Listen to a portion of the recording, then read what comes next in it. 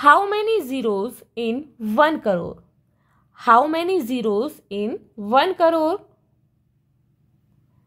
In the Indian numbering system, the term lakh and crore are expressed as. It means in Indian numbering system, the term lakh and crore are expressed as 1 lakh.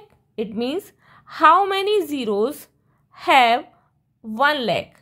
1 lakh has 5 zeros as 1, 0, 0, 0, 0, 0. Next is 10 lakh. It has 6 zeros. 1, 0, 0, 0, 0, 0, 0. Next is 1 crore. How many zeros are? 7 zeros. 1, 0, 0, 0, 0, 0, 0, 0.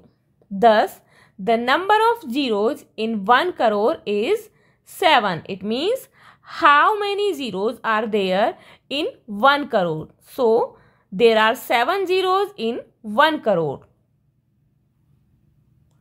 For more such videos, please subscribe our channel and press the bell icon for the latest notifications. Thank you.